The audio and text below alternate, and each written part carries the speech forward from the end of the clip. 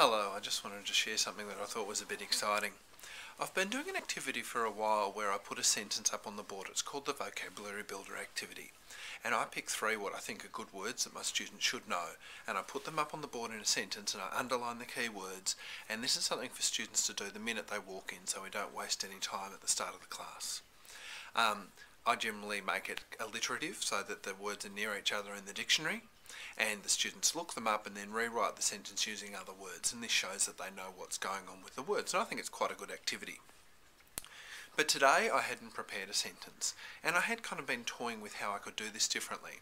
But when the first student walked in I said how about you grab a dictionary and pick the, the first word for today's sentence and then the second and third sentence, um, students I did the same and they quite happily found me some of their favourite words in the dictionary so I put them up on the board and I was going to make a sentence and do basically the same activity.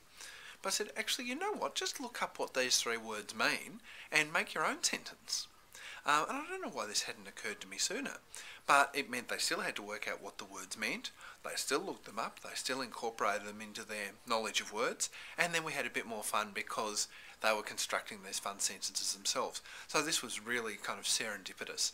I still think I'll do that other activity sometimes, but I feel like this worked out much better than I thought it would, and I feel like it's a really good addition to my um, repertoire of opening activities. So anyhow, I just thought I'd share that and record it for posterity.